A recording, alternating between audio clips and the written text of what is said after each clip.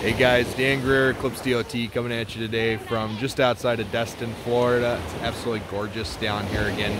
Just had the sunset, that's why my face is so dark. But um, today I just want to talk to you a second about being thankful for everything that happens in life and just trusting that God's got everything under control. And we've talked a lot about trust in God and in, in everything and not, not losing faith. But, you know, today it really hit me. We were sitting here and we, everything from where we parked to watching some sea turtles get released back in the wild, watching a stingray jump. Um, we had a jellyfish swim right up to us this morning when we were out here. It was just absolutely an amazing day to spend and, and to have my kids be a part of that.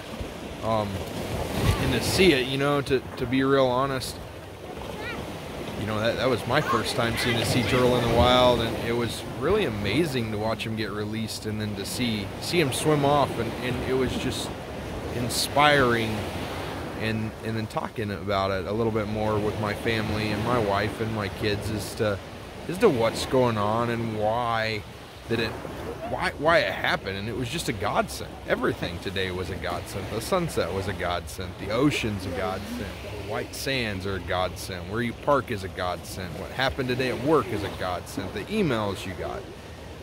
So just today take a few seconds give thanks to god for everything that he's done for you even the things that you may not see as a blessing and just just give that credit to him.